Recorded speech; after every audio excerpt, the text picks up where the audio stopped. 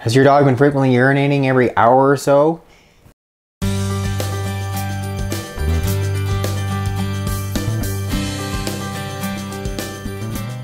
Hello, welcome back to my channel. If you're new, welcome. Click there to subscribe, hit the bell to sign up for notifications, and then when you click the link directly in the box below, I can send you a copy of my free book. Have you noticed in the last day or so that your dog just keeps wanting to go outside and urinate?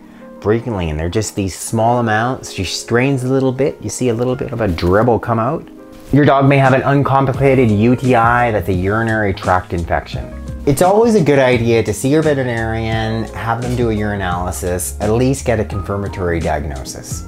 But that being said, say this just occurred all of a sudden, you're like, dog, is there something I can try at home for a UTI? So what's likely causing your dog's UTI? Most commonly is E. coli, bacteria that makes up feces. Likely there's secondary contamination that's made its way up the urethra into the bladder.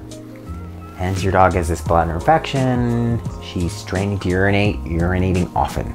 This is really common, and I remember my last dog, Lewis, he was about six months old, super common with puppies right around the age of them, you know, the male he's starting to produce testosterone, some of the females starting to cycle, come in heat. For whatever reason, often UTIs will pop up then. They be simple, uncomplicated UTIs, and some of these home remedies can work really well. Today's remedy is going to include green tea, one cup. Dark unpasteurized honey, we're going to be using one heaping tablespoon. I'm going to be adding that to our green tea. Okay, Pippi. You don't get it yet, Pipster. And our third ingredient, it is apple cider vinegar.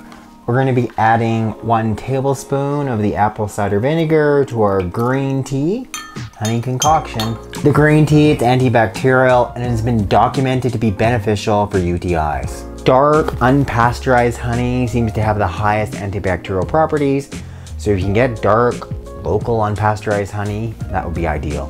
The apple cider vinegar, what it appears to do is lower the urine pH. We know that with most dogs, when they're gonna have a urinary tract infection, it's because the pH isn't low enough, it's not acidic enough allowing the bacteria to take hold in the first place.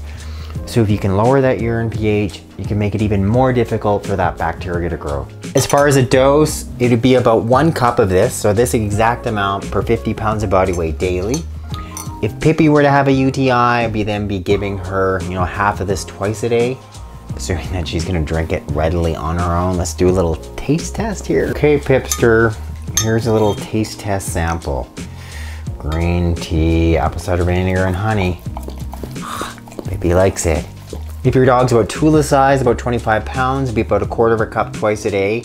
This is a 20 cc syringe, 20 ml syringe. It would be three of these syringefuls twice a day. So if they won't drink it, you can always just squirt it into the side of their mouth. If your dog has an uncomplicated UTI and this is gonna help, you're gonna see a result within one to two days. If not, obviously go back and see your veterinarian then I would suggest giving this over the course of five to seven days. Thanks so much for watching this edition of Veterinary Secrets of Treating Your Dog's UTI. Click up there to subscribe, hit the bell to sign up for notifications, and then when you click the link directly in the box below, I can send you a copy of my free book.